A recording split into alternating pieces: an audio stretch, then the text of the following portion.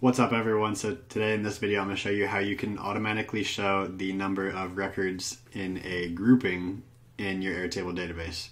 So if you haven't met me before, my name is Ben Green. I'm the owner of Optimize IS and what we do is we help business owners, probably just like you, help them optimize their information systems. So with stuff like Airtable, Asana for project management, Toggl for time tracking, Zapier for connecting all the systems, as well as Integromat and if you're interested in that, you can check out the link in the description and request a consultation from me or someone on my team. But without further ado, we'll get right into the video now. So here you can see I have this grouped and it is grouped currently by the linked record, the opportunity.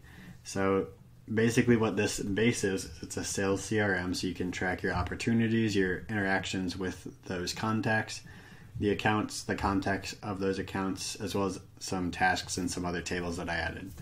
For this example, all you'll need to know is the interactions are linked to an opportunity, and that opportunity is the linked record that we're grouping by. So there's actually a calculation field that we're grouping by, but it will serve the same purpose in this example because it's pulling, like for this one, it's grouped by AceTube inquiry, and we just added these so we can sort these groups, which will be the the next video that I would suggest watching is how to sort these groups. But to do this, what you need to do is you need to go to your linked record. And so you need to go to these the table of your linked record. So for this one, it's the opportunity.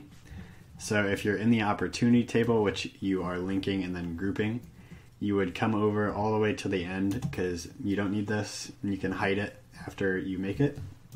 And what you're going to do is you're going to add a new field. So you click the plus up here and then you scroll down and you choose count and then you count whichever table that you're trying to link into. So the one we're linking into is the interactions.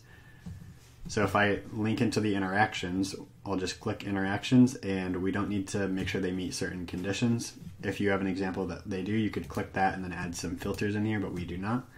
So we will go ahead and create this field and that will automatically count the number of interactions per opportunity.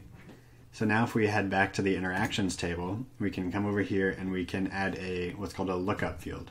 So a lookup field will access the data from this linked record, so it'll go to this opportunity here and it will pull in whatever information is in that row. Now because we added this count in here, when it's in the interactions, this account is here and this account is also here. So if you want this as a reference field over here, you'll just add a lookup by coming in here and scrolling down to lookup right there. Or what you can do is you can go to your linked record, click add lookup fields, scroll all the way down where we created that field, and then click toggle that on so it brings in the count the count interactions. So once you do that, you can see over here on the right, you can see there are two interactions for this client, there are two interactions for this client, there are three for this one and these field these summary fields right here that can provide like a sum, average, medium, min, max. I would probably just go with either the min or the max or the median because it'll all be the same thing for this example because you're pulling information from the record that it was grouped by, which is also a linked record.